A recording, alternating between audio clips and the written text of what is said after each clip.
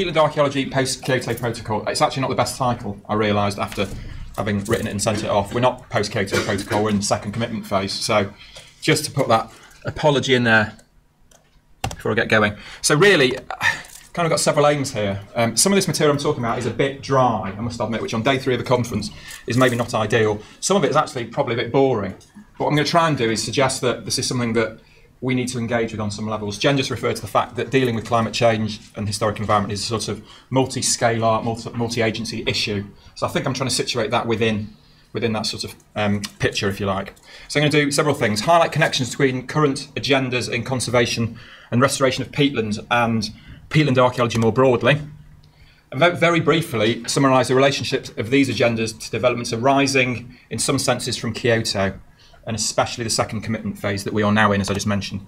In a touch on the ecosystem services framework, a lot of people don't like this. A lot of people get really bored when you talk about it. So I'm not going to say a huge pile about it, other than to make the point that I think as archaeologists we need to engage with it, even if we think, even if we're not happy with it in some ways. And I know some archaeologists don't like it. So anyway, and that's what I'm saying. Really, suggests that all of archaeology, not just peatland archaeology, should at least be aware of some of the, these agendas and engage with them in some measure.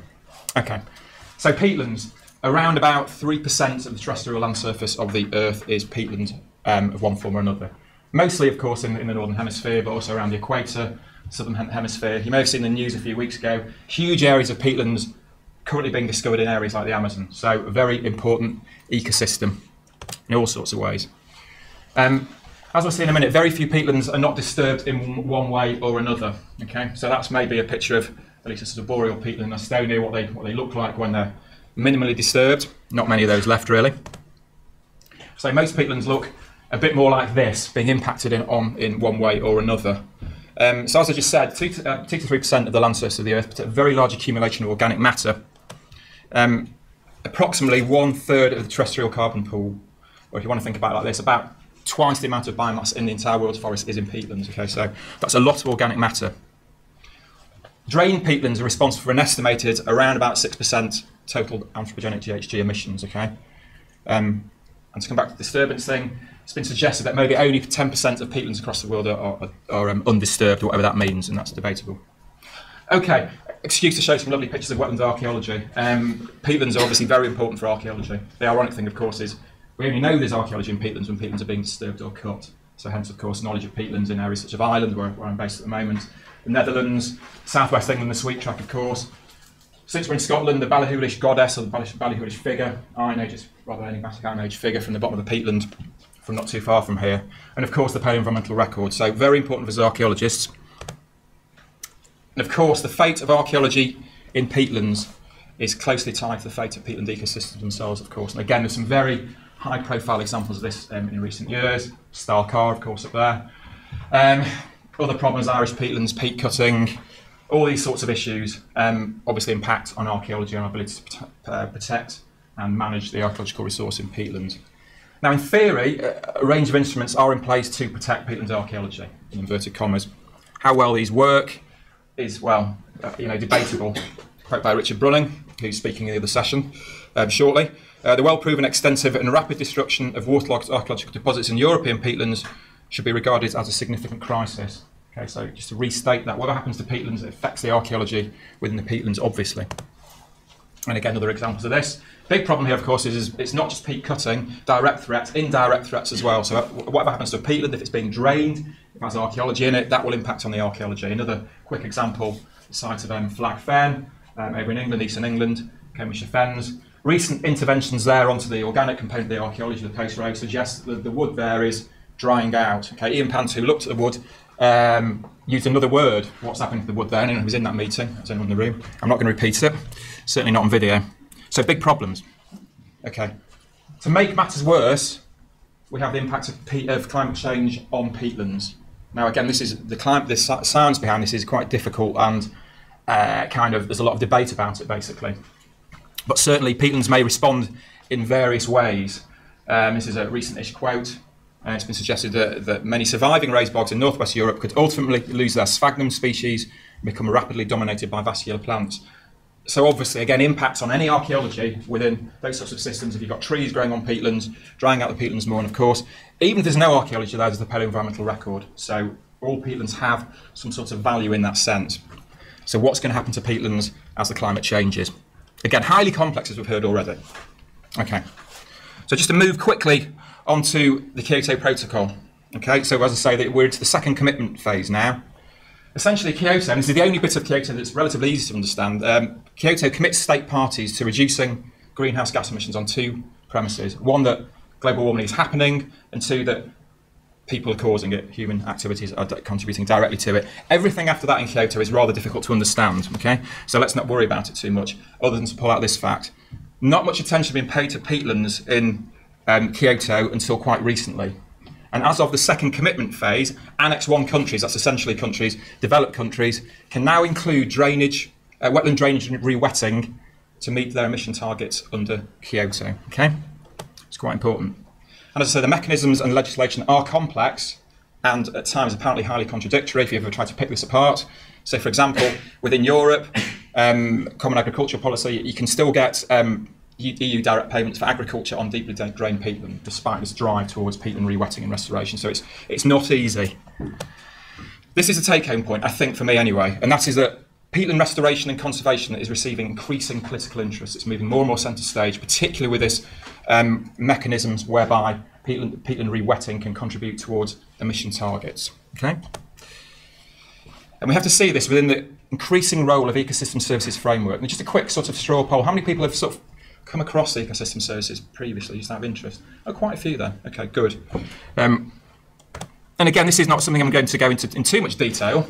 Um, some of you know already what the Devil Ecosystem Services are, but the benefit of those other people who are still with me here, a short quote. Ecosystem services are the benefits provided to humans through the transformations of resources or environmental assets, including land, water, vegetation, and atmosphere, into a flow of essential goods and services, for example, clean air, water, food, and so forth. You might want to look at a little bit like that. Don't know how well you can see it. Ecosystem services arrive from ecosystem functions, which are related to biodiversity. Okay, can't see that very well. Maybe look at it in more detail later if, if, if you're interested. What is important for us as archaeologists is included within the ecosystem services framework archaeology is archaeology, or archaeology can be incorporated within this framework of services, which includes supporting services, regulating services, provisioning services. So essentially, we have a space within this framework alongside uh, processes such as, uh, as I mentioned, carbon accumulation, restoration of peatlands. Archaeology can be in there alongside these potential services peatlands provide, such as climate change mitigation, which I'll come on to a tick. How we do? Okay. So, to answer the question, what the hell does this have to do with the archaeology? And I've kind of really answered my question in advance because it looks like this really. And again, this is a, unfortunately, I'm sorry I have to do this. It's a slight a slight plug for a paper which has come out recently. So if anyone's interested in looking at this in more detail, I can give you a copy of this paper that's just come out. And that is the fact within this cultural services section of ecosystem services, it kind of breaks down to this sort of thing of division and group and class examples. So the main thing to bear in mind here, and this is just part of the common international classification of ecosystem services. There's lots of acronyms in ecosystem services and in Kyoto for that matter. We can include archaeology and the archaeoenvironmental record, okay?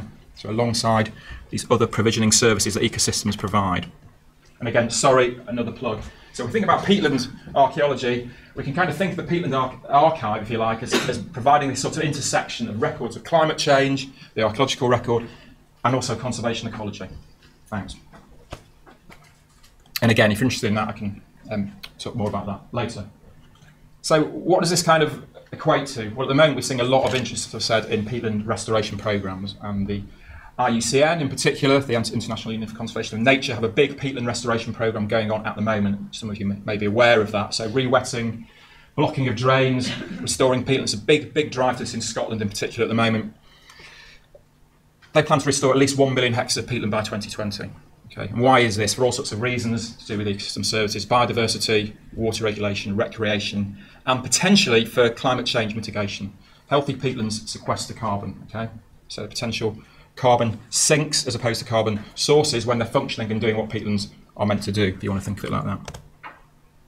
And again, this obviously ties up with archaeology in terms of restoration and conservation programs. So this is a site Hatfield Moors in eastern England that I worked on with colleagues um, some years ago. Hatfield Moors is a cut peatland, but it's now being re-wet. regenerated, if you like. we worked on, on the site, not least the Neolithic trackway at the bottom of the peatlands. The trackway is completely knackered, nearly used Ian's word there. So, you know, that's, there's lots of debate about whether this kind of fragment could be preserved in situ. The important thing, of course, is rewetting peatlands will not restore sites that are, that are done in already. But we need to input into these programs as archaeologists, not least to make sure that conservation programs do not Im- impact on any archaeology that is there already. It doesn't really matter whether you're cutting peat to burn it, or digging a drain, or blocking a, blocking a dike to, um, to restore the peatland. There still might be archaeology it can still be impacted on. So we need to be aware of these peatland restoration programs and make sure they're not just going off and doing their own thing. It's one point. Okay. Something else that's important here, it's about money, people. I'm going to suggest it's about money. And this is what Achim Steiner, who's Executive Director of the United Nations Environment Programme, he said this. Protecting and restoring peatlands is perhaps another key low hanging fruit and among the most cost effective options for climate change mitigation. Okay? So, this is what I'm saying. Peatland restoration is moving centre stage, lots of interest in it, and potentially quite a lot of money in this as well. It all comes down to money in the end. Right, so I'm going to tie up hopefully you've kind of stayed with me on this, but just to kind of summarise what I'm trying to suggest. So peatlands are threatened by various factors. Okay, the fate of the archaeoenvironmental record is directly tied to the fate of peatlands. Whatever happens to peatlands, if it's good, it's good for archaeology in theory. If it's bad, it's bad for the archaeological record. As I've said several times, peatlands are moving centre stage in many ways in terms of some of these climate change debates, particularly in terms of possible impacts of global warming on peatlands all sorts of interesting science about this, and again, lots of the debate about it is not straightforward.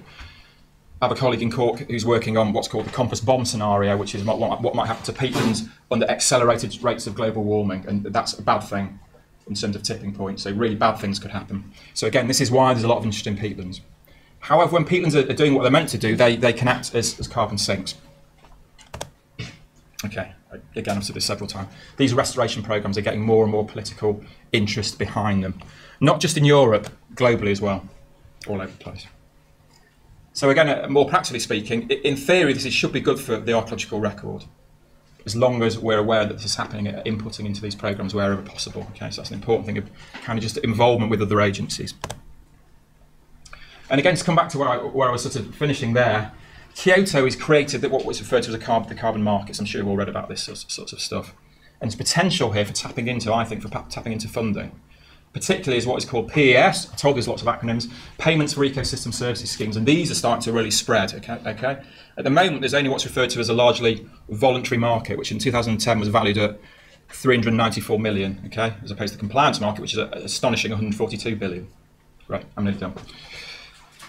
So what I'm saying here is, as these peatland restoration programs gather speed and gather interest, and indeed gather money as people put money into restoration programs as part of this voluntary market. There's potential for us as archaeologists to get involved, as peatland archaeologists to get involved in this, and maybe to get money to deliver archaeological benefits. Okay, maybe. Bit blue skies, this, I know. So I'm suggesting uh, there's a place for archaeology and archaeologists, particularly you know, within the context of peatland archaeology, but not just peatland archaeology. Looking more broadly at the ecosystem services framework, and there's a lot of work and thought about this, particularly in terms of what we refer to as cultural services, sense of place, all this sort of stuff. Archaeology can feed directly into that. And the ecosystem services framework, in particular, has a lot of political will behind it at the moment. And again, you might not like the idea of it, and as I said at the start, a lot of people don't.